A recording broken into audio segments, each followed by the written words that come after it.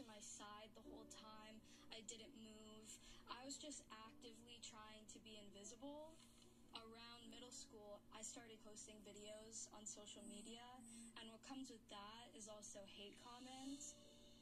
Instead of people commenting on me singing, they would be commenting on my weight.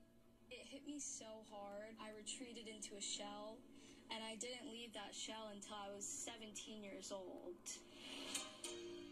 It wasn't until I saw Lizzo for the first time that I saw someone who was bigger and just like killing it. My whole world view shifted. It gave me that confidence. I genuinely, I, I love what I look like. And now I gig as much as I possibly can all around New York City.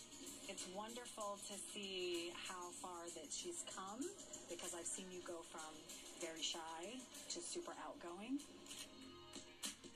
I'm a really big fan of The Voice because it doesn't matter what you look like, it just matters how you sound. I was so excited to be able to have this opportunity because I feel so confident on the stage now. I used to